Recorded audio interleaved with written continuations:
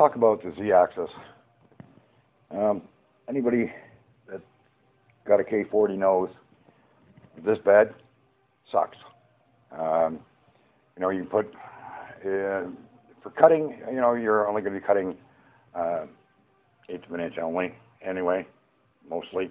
Um, but if you're wanting to do engraving on cutting boards or um, anything else like that uh, with different thicknesses, um, with the focal length of the laser, you're not uh, you're not going to be able to do it uh, unless you've got an adjustable Z-bed. Um, there's several videos out there. Um, let's uh, move this out of the way. And uh, where to go? There. That was one option. And I'll tell you right now, it sucks. Don't even think about it. It's, um, if I mean, it works, you know, if you want to put your hand underneath, you, you, you, you know, you can't get your hand underneath it. You can't, uh, you can't do anything. Um, you know, even if you wanted to try and extend this bar out of your case, um, you'd have to cut a slot up and down um, because it's in the center. Um, and the adjuster rises with, uh, with it.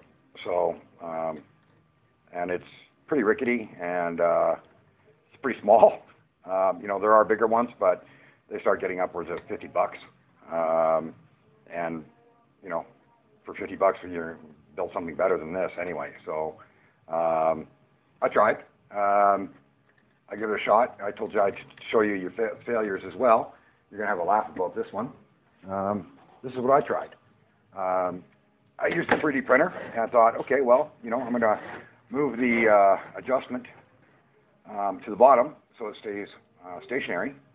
And, uh, you know, uh, it works, kind of, you know. Um, it was uh, interesting project. It was fun. Uh, I was, you know, looking to have fun anyway. So, but this is, um, it's 3D printed. Um, it's nowhere near usable. Um, it's rickety, you know, it's here, um, you know, too flexible here. Um, you know, the plastic is just, you know, you, there's just no way you can do it. So, um, you know, if anybody else thinks about trying to 3D print something, mm, definitely not out of uh, um, PETG. Um, it's not going to work. I don't know. I really, you might be able to reinforce this back here with some aluminum or, you know, make the whole thing out of aluminum. But if you're going to do that, there's a lot easier things to do. So um, this was, uh, it was interesting. It was fun. Um, you know, it's kind of uh, uh, time killer. Um, took three days to print all the parts for it.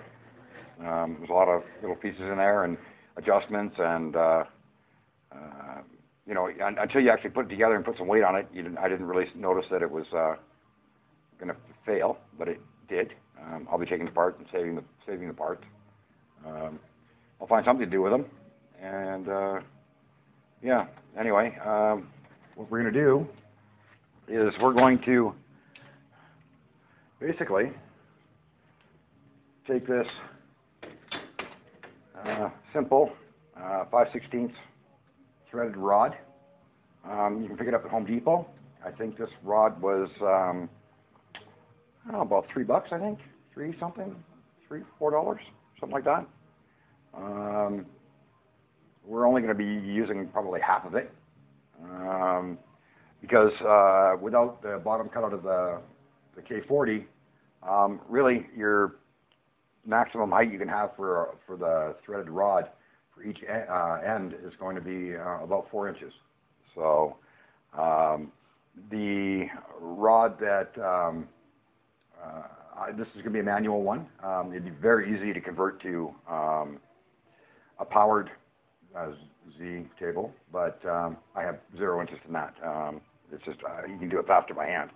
Um, and you know, with, with maybe later when I cut out the bottom of the of, of the K40 um, and, and mount it to the table and stuff like that, I might I might uh, hook it up to uh, a stepper. Um, but for now, uh, we're just going to do this. And then this is uh, three-quarter inch aluminum. Um, I think this was about six dollars, something like that, um, six or seven dollars.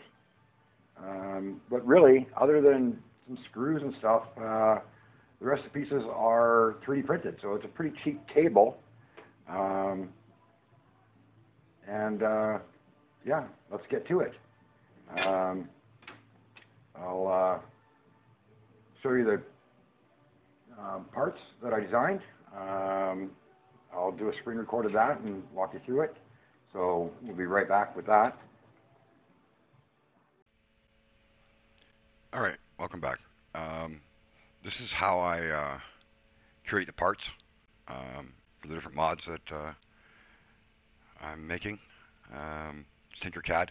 I have Fusion 3 360 commercial version, but um, uh, I'm so busy trying to get this stuff going. Um, uh, Fusion 360's got, got a bit of a steep learning curve. I just haven't got around to doing it yet. So, um, but this works great um, for quick, easy stuff. Um, you know, uh, I want to get into the 360 because of the constraints and stuff like that for boxes and, and different things like that. But anyway, this is one we're dealing with right now.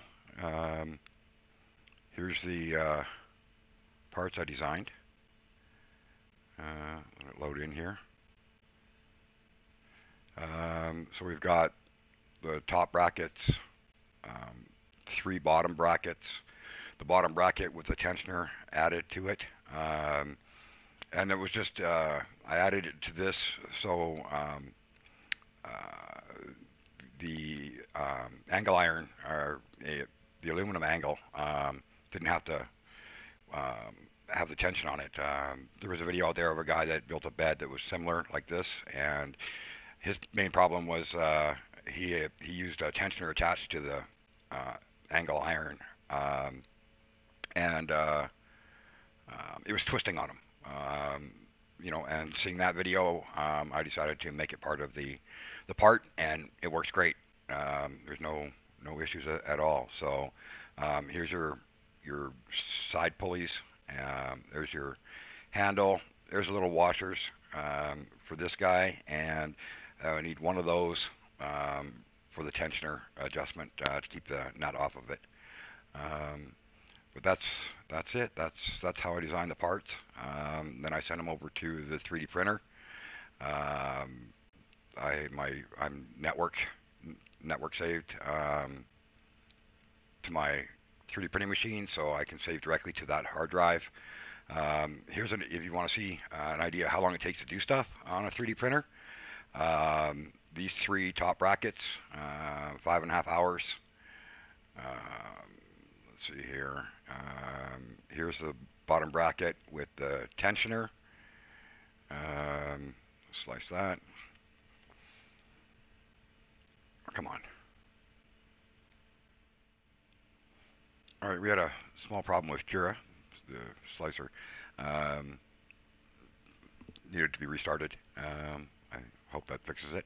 Um, anyway, you can see the um, bottom bracket with the tensioner takes another five hours to print. Um, the uh, top brackets. Uh, hope, hopefully this will. No. There we go.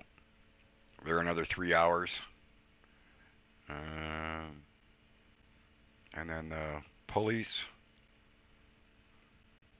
I think they're like another hour, I think.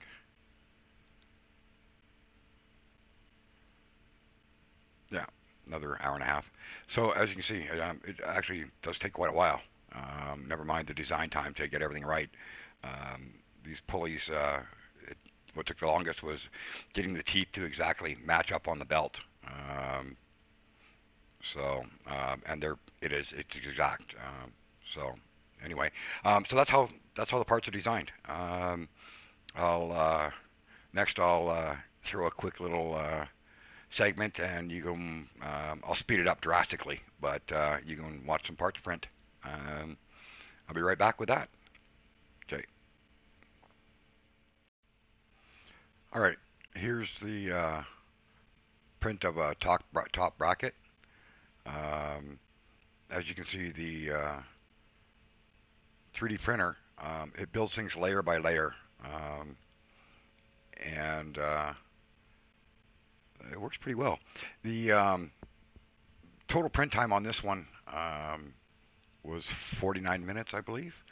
Um, so you can see uh, it does take quite a while um, to build parts. Um, anyway, um, this is about a minute and a half long. Um, hope you enjoy it or skip forward.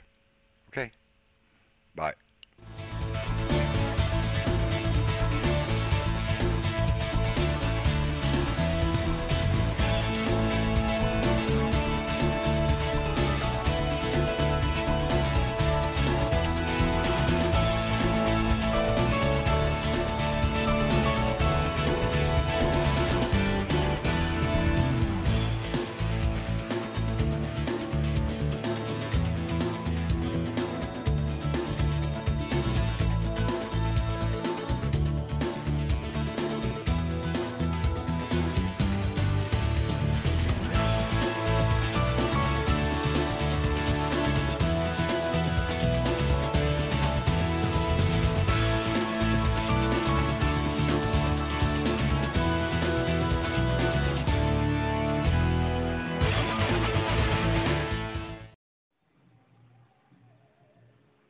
We're back.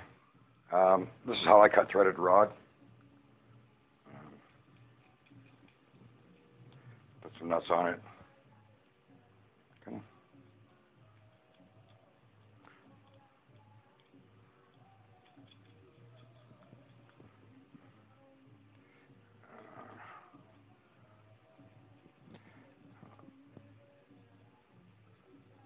Pass the there was a little adhesive on here, so from the sticker. When you buy it, there we go. Pick past it and they'll spin. There we go.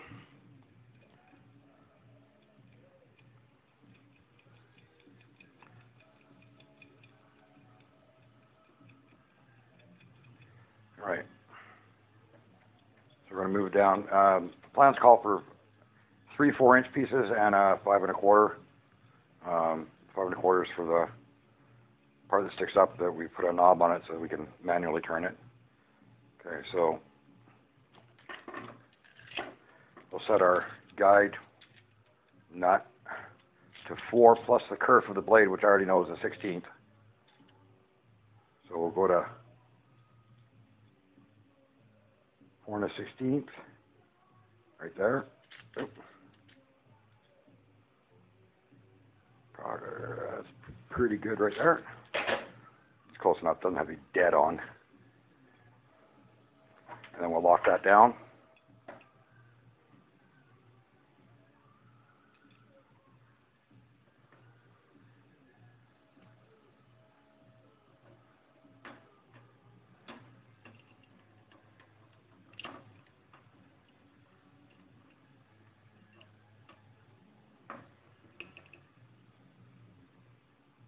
All right, good.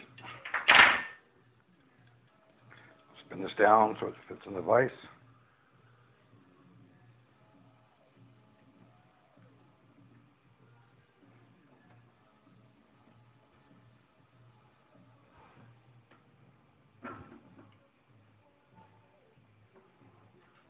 Lock it down. Sorry if it's shaking. I got a camera attached to a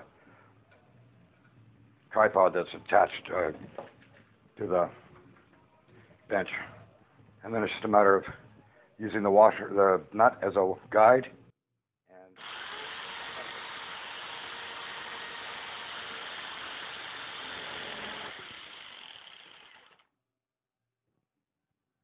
I need to tighten that camera down. Hang on.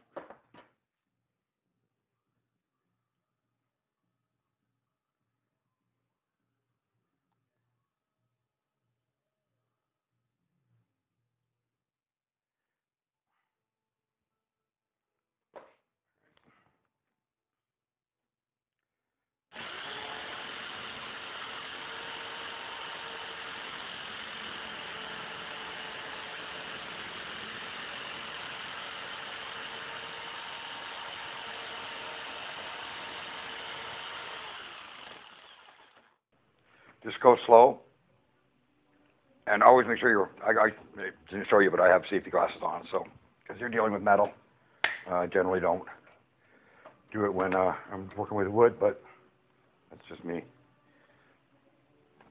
There we go.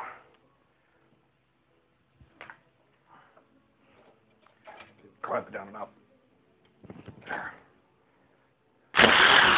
There. Done. All right. There's a four inch piece. Um, be careful of these edges. They're super sharp. Um, I don't know if you can see it, but that got me yesterday. And uh, it still stings like a bitch. Um, okay, now we're going to go measure it and figure out where we need to put the uh, the hole in it for the um, uh, set screw um, to hold the bracket in place, or the, the pulley. I'll go get the pieces to measure it, and then we'll set up on the, um, dr- the drill press and and get a slight hole drilled in it. I'll be back shortly. All right, we're back. All right, I put one together with all the pieces in it. It'll let me know approximately where the set screw is. It's just got to be close. Um, you know, these uh, these are four inches. Um, you're, you'll never be able to raise your bed that high anyway um, eh, because of the focal length of the laser. So you just got to be close. Um, little knot right there, and we'll go right in between those two threads right there. And um, now I'm not recommending that anybody do it this way. Um, this is just the way I do it.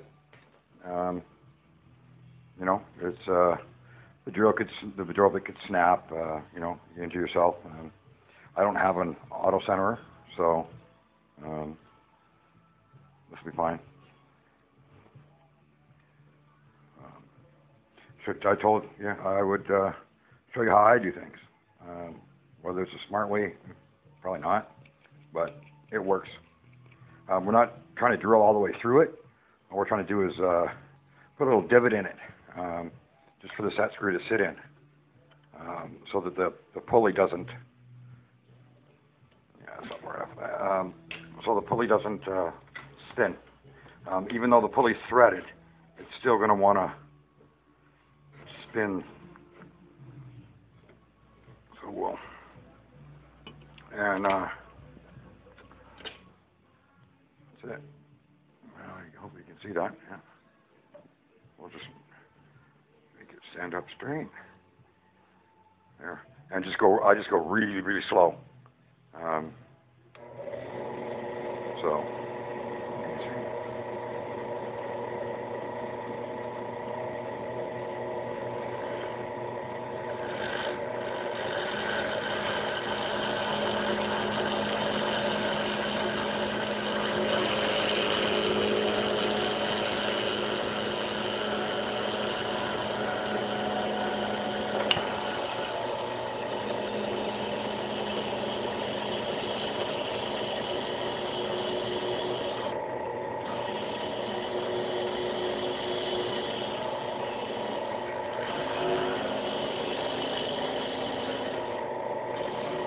I can, I can feel it trying to shift the bolt and stuff, so I'm just moving it as it, as it tries to shift away from it. But we're almost there anyway, so. And I'm not putting hardly any pressure on it at all, just, just barely letting it snug down. You can see the, the spine shavings just coming out really, really slow. Let's see. And that's good enough, that's all we need. Let's see here. Light fell, I didn't want to stop, so see if I can get it in here. But there's, uh, that's all we need. Just enough for the set screw to get in there. All right, I'll, uh, get back to the table and, uh, we'll see you back there. All right, bye.